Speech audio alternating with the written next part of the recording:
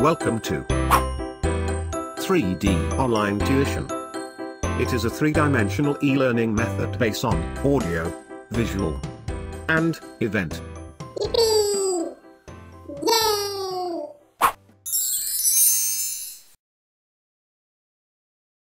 Chapter 4 The Variety of Resources on Earth. 4.1 The Various Resources on Earth. 4.2 Elements, Compounds and Mixtures. 4.3 Appreciating the Importance of Earth's Resources.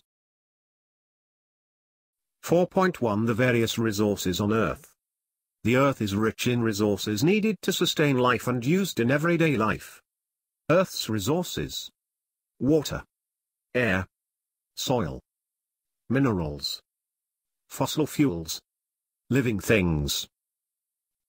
1. Water.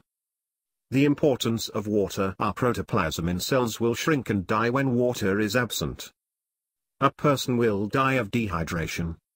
Helps dissolves and transports digested food and oxygen to all parts of the body.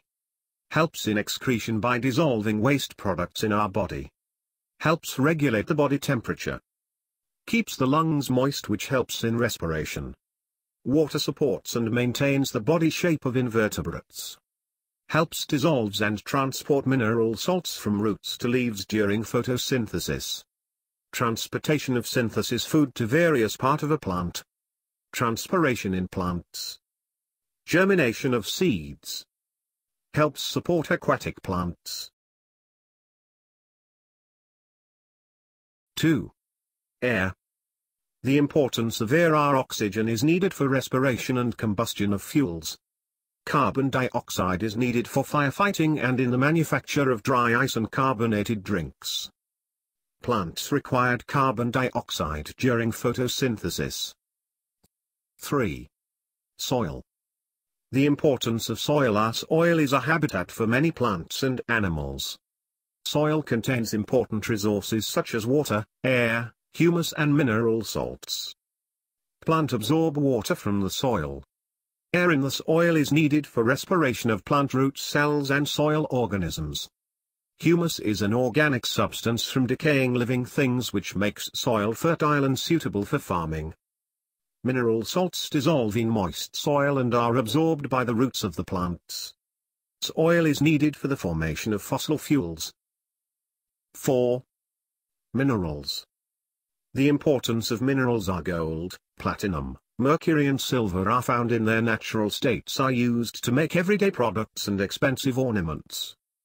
Mercury is used as a solvent for many metals and used to coat mirrors. Thermometers used contain mercury. Silver is used to prepare chemicals such as argentum nitrate, chemicals for photography. It is also used to make decorative items. Copper which is a good conductor of heat and electricity is used to make cooking utensils and electrical wires. Iron coated with tin is used to make food containers. Steel is used in the construction of buildings and bridges.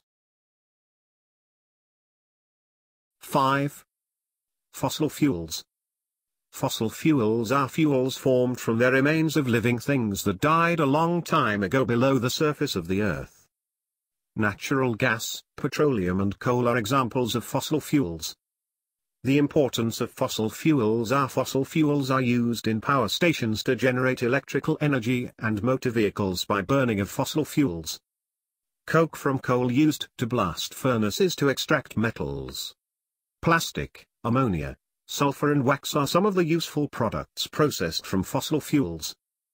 6. Living things.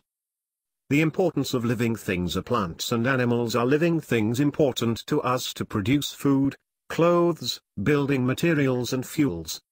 We need clothes to protect our body. We need food to provide us with energy to carry out daily activities. We need building materials to build furniture and houses. We need fuels to cook food, generating electrical energy and operating vehicles. 4.2 Elements, Compounds and Mixtures The various resources on Earth exist as elements, compounds and mixtures. Elements 1. An element is the simplest form of matter. It cannot be broken down into two or more simpler substances by any chemical or physical methods. 2. An element is made up of one type of particle only. 3. An atom is the smallest particle in an element. 4. The most abundant element on Earth is oxygen while the most abundant elements in the universe are hydrogen and helium. 5. Elements may be solids, liquid or gases at room temperature. Metals and non-metals. 1. Elements can be classified into two main groups which are metals and non-metals. 2. All metallic elements, except mercury, are solids at room temperature. 3. Non-metallic elements can exist in solid, liquid or gaseous states at room temperature. Below is a table showing the differences between metals and non-metals. The appearance of the surface of metals are shiny while non-metals are dull. Metals are malleable while non-metals are not malleable. Metals are ductile while non-metals are not ductile. The density for metals are high while non-metals are low. The melting point of metals are high while non-metals are low. Metals are good conductor of heat while non-metals are poor conductor of heat. Metals are good conductor of electricity while non-metals except for carbon and silicon are poor conductor of electricity. Compounds 1.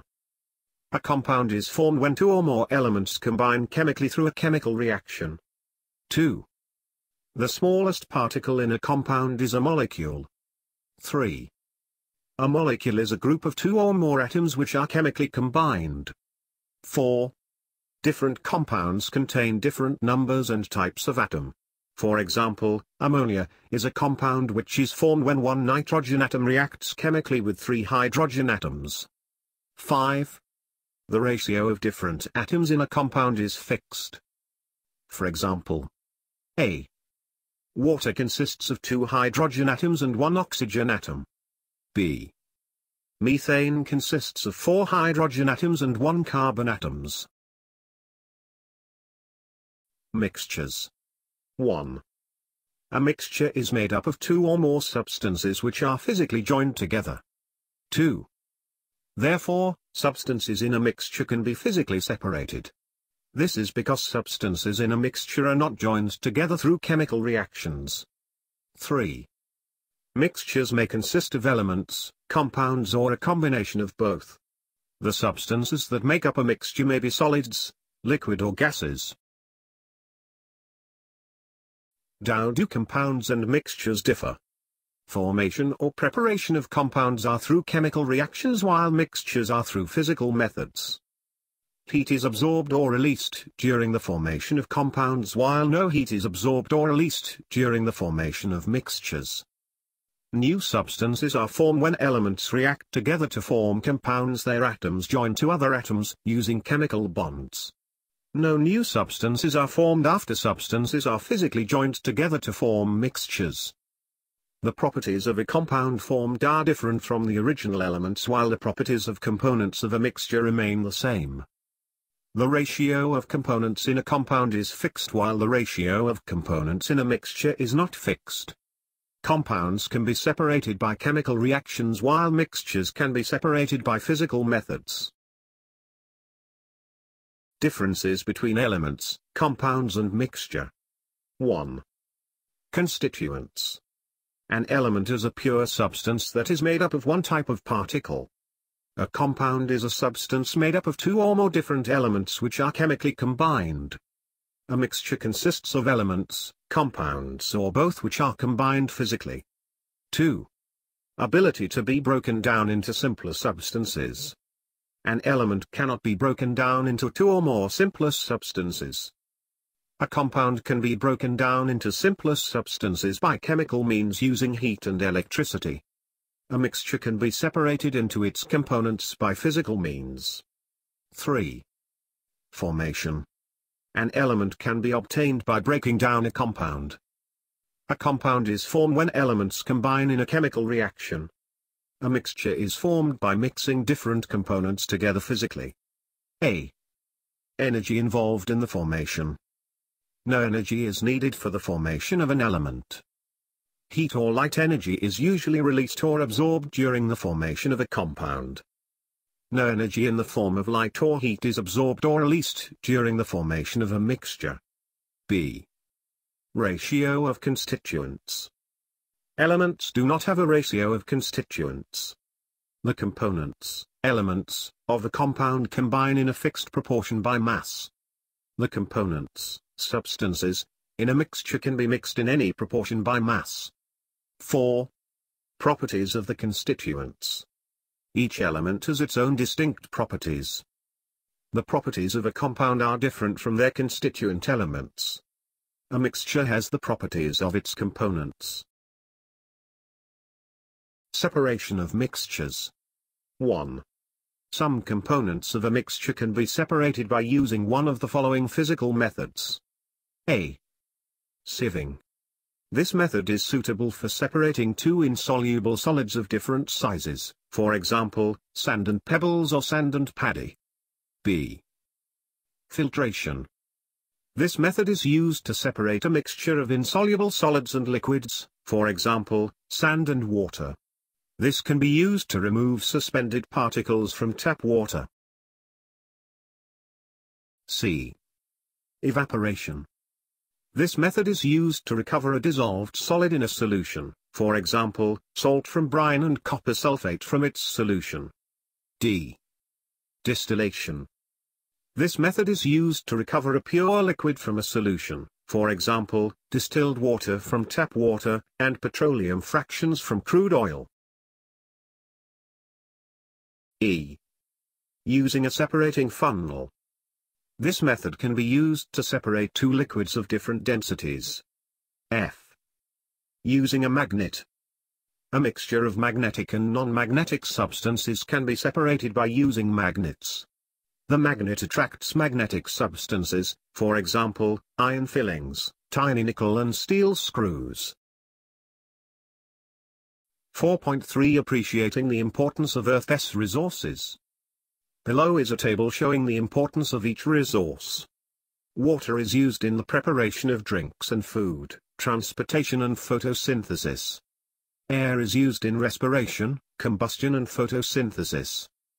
Oil is used in agriculture, farming, mining and construction. Soil can be used as a habitat for living things.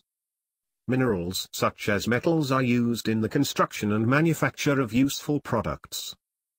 Fossil fuels are sources of energy. Human beings obtain food, clothes, fuels and building materials from plants and animals. 1. It is important to preserve and conserve resources. We have to be responsible in using natural resources and make sure that the balance and harmony in nature is not affected. 2. When animals are hunted in excess, they face extinction. Excessive consumption of fuel for transport and in the manufacture of goods results in greater demands for energy sources. 3. Extensive deforestation destroys the habitats of plants and animals. This can cause certain plant and animal species to become extinct. 4. To satisfy our needs, we have taken and used natural resources with no regard for the environment. As a result, we have made the environment unsuitable for living organisms. 5. There is pollution of the environment. Activities that pollute the air, water and soil are deforestation, logging, mining, industrial activities, illegal agricultural practices and increased use of vehicles and machinery. Importance of preservation and conservation of resources on Earth. 1. Preservation of resources is the act of maintaining Earth's resources in their natural environment so that the balance of nature is not disturbed. 2. Conservation of natural resources is the sustainable use and management of resources to prevent wastage, loss or damage. 3.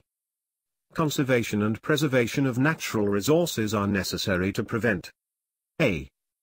The destruction of the environment. B. The extinction of species. C. Natural disasters. D. Health problems. E. Loss of economic resources. F. Shortage of clean water for drinking and washing. G. Damage to the balance and beauty of nature. 4. Preservation and conservation of resources on Earth requires the cooperation of individuals, communities and governments. 5. Measures to reduce pollution, and to preserve and conserve the Earth's resources are A. Reduce usage of Earth's natural resources. B. Reuse materials whenever possible. C. Recycle waste materials such as paper, glass, plastic and aluminium. D.